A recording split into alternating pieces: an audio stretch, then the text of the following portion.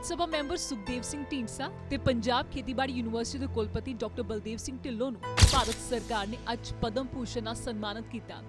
ਰਾਸ਼ਟਰਪਤੀ ਭਵਨ 'ਚ ਹੋਏ ਸਮਾਗਮ 'ਚ ਦੇਸ਼ ਦੇ ਰਾਸ਼ਟਰਪਤੀ ਨੇ ਢੀਂਡਸਾ ਨੂੰ ਪਦਮ ਭੂਸ਼ਣ ਨਾਲ ਨਵਾਜ਼ਿਆ ਡਾਕਟਰ ਢਿੱਲੋਂ ਨੂੰ ਖੇਤੀ ਵਿਗਿਆਨ 'ਚ ਵੱਡਮੁੱਲਾ ਯੋਗਦਾਨ ਪਾਉਣ ਬਦਲੇ ਇਹ ਸਨਮਾਨ ਦਿੱਤਾ ਗਿਆ।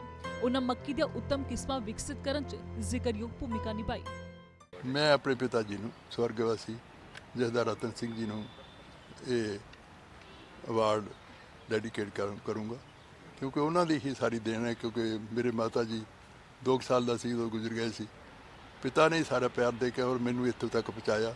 ਔਰ ਮੈਂ ਪਹਿਲਾ ਸੀ ਜਿਹਨੂੰ ਸਕੂਲ ਭੇਜਿਆ। ਸਾਡੇ ਪਿੰਡ ਸਕੂਲ ਨਹੀਂ ਸੀ ਹੁੰਦਾ। ਸਾਡਾ ਪਰਿਵਾਰ ਦਾ ਕੋਈ ਮੇਥੋਂ ਪਹਿਲਾਂ ਸਕੂਲ ਵਿੱਚ ਨਹੀਂ ਸੀ ਗਿਆ ਔਰ ਉਹਨਾਂ ਨੇ ਮਿਹਨਤ ਕਰਕੇ ਮੈਨੂੰ ਖਰਚੇ ਦੇ ਕੇ ਇੱਥੋਂ ਤੱਕ ਪਹੁੰਚਾਇਆ। ਤੇ ਹੁਣ ਤੁਸੀਂ ਰਾਜਨੀਤੀ ਤੋਂ ਦੂਰ, ਪਹਿਲੇ ਤੋਂ ਨਹੀਂ ਕਿ ਤੁਸੀਂ ਕਿਹਾ ਕਿ ਮੈਂ ਦੂਰ ਹੋ ਗਿਆ। ਤੇ ਹੁਣ ਕਿਹੜੇ ਕੰਮਾਂ 'ਚ ਲਾਇਆ ਜਾਏਗਾ? ਨਹੀਂ, ਬਹੁਤ ਰਾਜਨੀਤੀ ਕਰਨ ਲਈ ਥੋੜੀ ਥੋੜੀ ਕੀਤੀ ਹੈ। ਇੰਨਾ ਲੰਮਾ ਸਮਾਂ ਹੋ ਗਿਆ। ਪੈਸੇ ਤਾਂ ਕਾਲਜ ਟਾਈਮ ਤੋਂ 55 ਤੋਂ ਸ਼ੁਰੂ ਕੀਤੀ ਸੀ। ਤੇ ਲੇਕਿਨ 72 ਚ ਤਾਂ ਮੈਂ ਐਮਐਲਏ ਬਣ ਗਿਆ ਸੀ ਇੰਡੀਪੈਂਡੈਂਟ ਤੇ 4 ਸਾਲ ਐਮਐਲਏ ਵੀ ਰਿਹਾ ਮੰਤਰੀ ਵੀ ਰਿਹਾ। ਇੱਥੇ ਵੀ ਚੌਥੀ ਵਾਰੀ ਹੁਣ ਐਮਪੀ ਆ ਤੇ ਬਹੁਤ ਵੱਡੀ ਪ੍ਰਾਪਤੀ ਕਹਿ ਸਕਦੇ ਹਾਂ ਇਹਨੂੰ ਪਰਮਾਤਮਾ ਨੇ ਦਿੱਤੀ ਹੈ।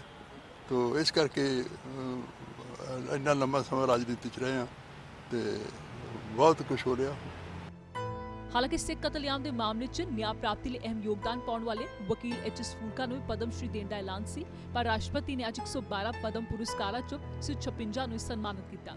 ਰਾਸ਼ਟਰਪਤੀ ਨੇ ਦੇਸ਼ ਦੇ ਕਈ ਖਿਡਾਰੀ ਤੇ ਹੋਰਨਾਂ ਸ਼ਖਸੀਅਤਾਂ ਨੂੰ ਪਦਮ ਪੁਰਸਕਾਰਾਂ ਨਵਾਜ਼ਿਆ। ਇਹਨਾਂ ਪੁਰਸਕਾਰਾਂ ਦਾ ਐਲਾਨ ਇਸ ਸਾਲ ਗਣਤੰਤਰ ਦਿਵਸ ਮੌਕੇ ਕੀਤਾ ਗਿਆ ਸੀ ਤੇ ਅੱਜ ਯਾਨੀ 11 ਮਾਰਚ ਨੂੰ ਇਹ ਭੇਂਟ ਕੀਤੇ ਗਏ।